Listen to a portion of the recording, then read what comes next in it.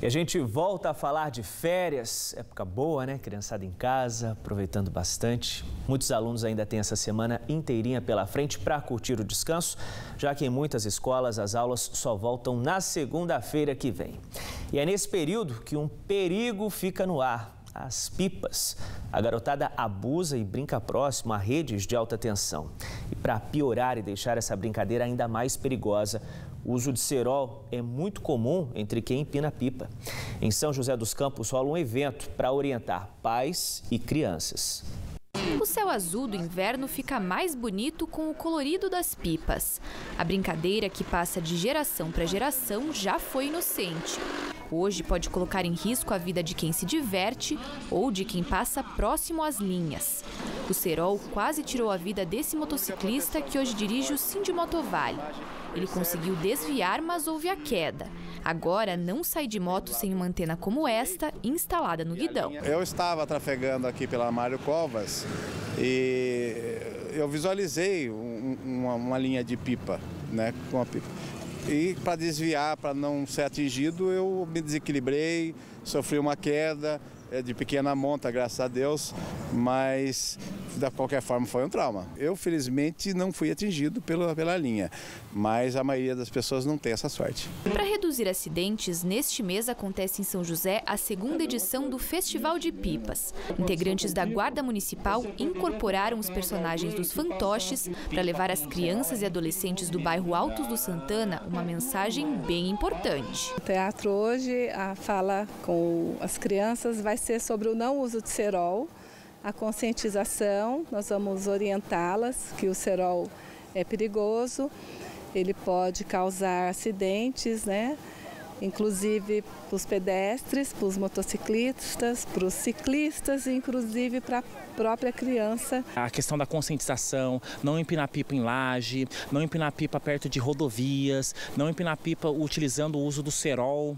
Isso é, é muito importante porque eles já crescem com esses novos hábitos. As crianças ainda tiveram a oportunidade de confeccionar a própria pipa com os materiais corretos. A Isadora, de 9 anos, é fã da brincadeira e é ensinada desde cedo pela mãe Elsa sobre os cuidados necessários. A criançada tem que saber do, da, do perigo que corre, porque realmente é muito perigoso, né? Eles não têm esse conhecimento se não, não tiver quem orienta, né? Então é importante sim. Porque com cerol é perigoso se cortar, daí lascou tudo. E você não corre esse risco? Não. Além de não usar o cerol, outro detalhe importante na hora de brincar de pipa é verificar se o local não fica próximo de fios da rede elétrica.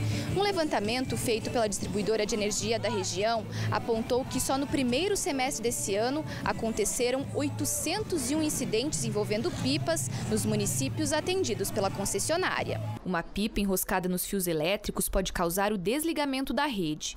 Ao tentar retirar o brinquedo, a pessoa pode sofrer queimaduras e até perder a vida.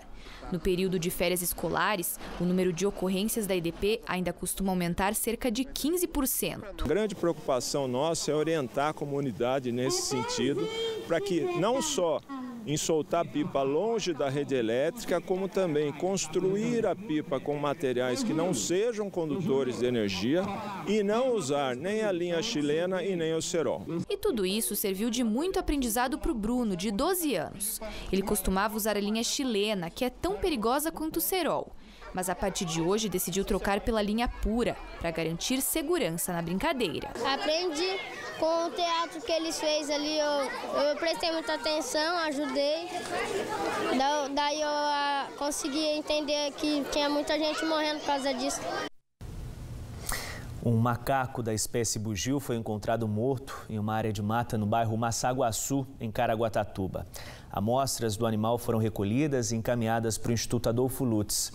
O resultado com a causa da morte deve ficar pronto em uma semana. Equipes da prefeitura vão percorrer os bairros próximos ao local onde o macaco foi encontrado para fazer a imunização dos moradores que ainda não foram vacinados contra a febre amarela. Assim como nós humanos, os macacos também são hospedeiros do vírus e não transmitem a doença. A Prefeitura de Taubaté iniciou um bloqueio vacinal contra a raiva em cães e gatos na região do Vale do Una. A ação preventiva é devido à confirmação de um caso de raiva em um cavalo de uma propriedade particular próximo ao Centro de Controle de Zoonoses. A prefeitura disse que os animais do CCZ já foram vacinados. Os proprietários de animais de pequeno porte podem procurar o CCZ para vacinação. Posto Volante vai atender as proximidades da Ponte, da Fazenda Santa, da Associação dos Funcionários e da Capela Bom Jesus do Ipiranga. A Prefeitura também recomenda que os rebanhos de bovinos e equinos sejam vacinados novamente contra a raiva. O vírus da raiva foi transmitido por um morcego. Os últimos casos de raiva foram registrados em três animais em junho do ano passado. Vamos falar agora de esporte. Depois de vencer o Campeonato Brasileiro por Clubes, a equipe de bicicross BMX de São José dos Campos espera um segundo semestre ainda mais vitorioso. Enquanto não há uma boa pista na cidade para treinamento, o jeito é utilizar a pista da vizinha Jacareí para voar alto em busca de novas conquistas. Sobre duas rodas, eles voam e fazem graça no ar. Mas aqui as manobras não são mais importantes. Na modalidade de bicicross, o que conta é a velocidade. Por isso, a orientação é que todos sejam rápidos e rasteiros. A manobra para a gente não interessa. É uma modalidade de velocidade, no qual largam oito atletas no partidor de largada e aquele que chegar em primeiro na linha de chegada, no caso, é o campeão daquela bateria ou daquela fase onde ele estiver. Então, independente de for saltando ou se for passando, isso para a gente é indiferente. O que importa é chegar primeiro aqui na linha de chegada. Experiência para esses atletas não falta, mas a equipe que representa a cidade é nova, foi montada esse ano. De 2006 até o fim do ano passado, além da bicicross, os treinos concentravam as modalidades de ciclismo de estrada, mountain bike e paraciclismo. Neste ano, a BMX foi separada para um melhor aproveitamento da equipe. Ficou melhor pelo número de pilotos ele ter diminuído. Antes a gente treinava junto com o ciclismo, então era ciclismo e bicicross junto. Então o número de atletas era muito grande, o que dificultava um pouquinho o treino mais focado no BMX. Hoje, como o BMX está com um número menor de pilotos, o treino ele é mais focado, dá para você dar mais atenção individual a cada piloto. Os treinos acontecem em média três vezes por semana nesta pista em Jacareí, já que a de São José dos Campos está desativada. Vamos torcer agora para a segunda parte do ano, no segundo semestre, nós conseguimos manter esses resultados e sair também, se Deus quiser, com o título paulista no nosso primeiro ano de formação.